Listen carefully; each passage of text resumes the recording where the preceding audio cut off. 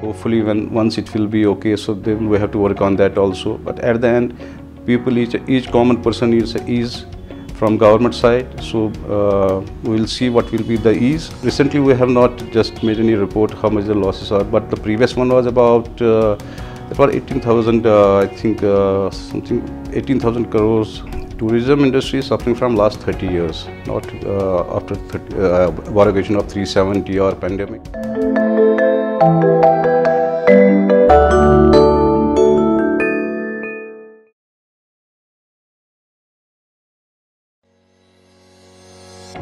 Ahmed Pakthoon and I'm uh, treasurer at KCC and I. We have so many sectors over here, but uh, I am representing mostly tourism over here.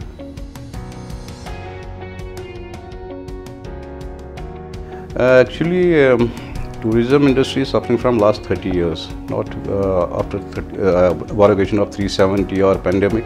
So it's the industry which is hit uh, whenever we have any kind of unrest or something over here. So tourism industry is hit uh, first, and if any recovery is the last. So now uh, these two things we have um, just uh, neck to neck both of these, and it's suffering badly. So we need government to come out just for our rescue and till this time we have not seen anything coming out from the government side just a few just a few things.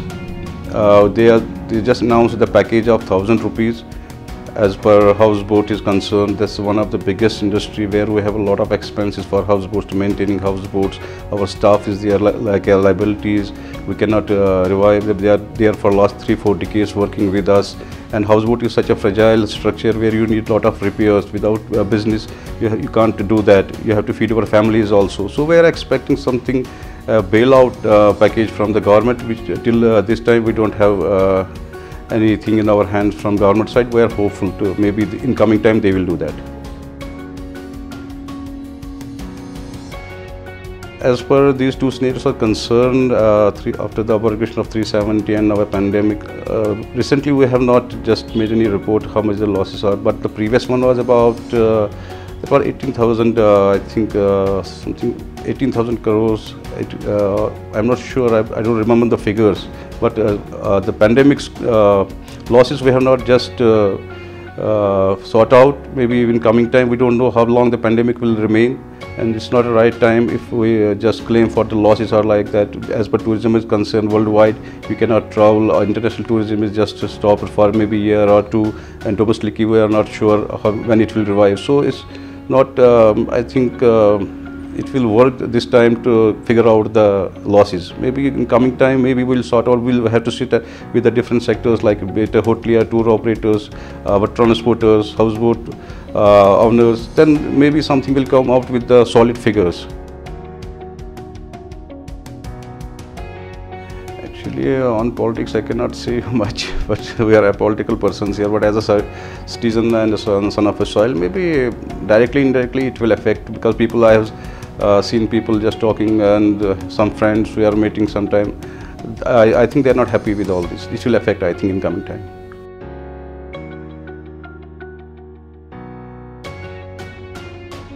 Actually, uh, after 370, we met uh, Home Minister also, Finance Minister, and Mr. Jitendra Singh also, and we just gave them our proposals, how people are suffering, what they need from you. But unfortunately, the pandemic starts after a few days, so still uh, that file and our um, points, our memorandum is still on a pipeline. So hopefully, when once it will be okay, so then we have to work on that also. But at the end, people each each common person needs ease from government side. So uh, we will see what will be the ease and uh, in coming time we are hopeful as soon as this pandemic is over, we have to uh, take all the sectors on board.